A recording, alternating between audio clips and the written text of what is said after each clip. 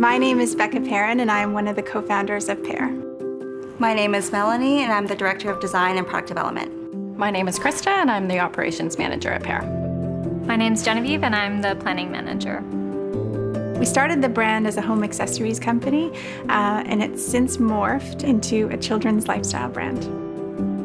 The goal is really to have a, an assortment or brand that really captures the beauty and simplicity of childhood.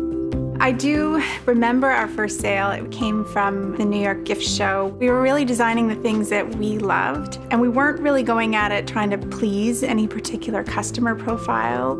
Having that first sort of vote of confidence or really seeing that it resonated with customers the way that it did with us felt really good.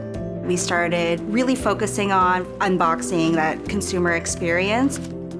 Having everything nicely placed in there and opening the box easily, I think that was more the focus for the online experience. It really comes down to keeping the communication up post-purchase. So order confirmation, tracking, and then obviously if there's any issues that follow up, being available in real time to do so.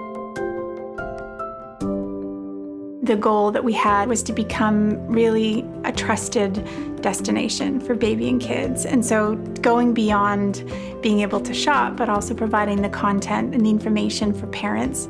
We've also incorporated a review section on our new website. Really, that is the most impactful way of another customer hearing about a brand and learning about it. Three things to think about in order to ensure a second sale or a repeat customer, ensuring an amazing experience. So having that sale or that transaction be as seamless and as easy and as fast as can be.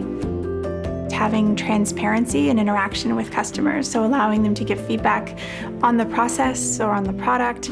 Having that sort of open dialogue and communication is, I think, key to success.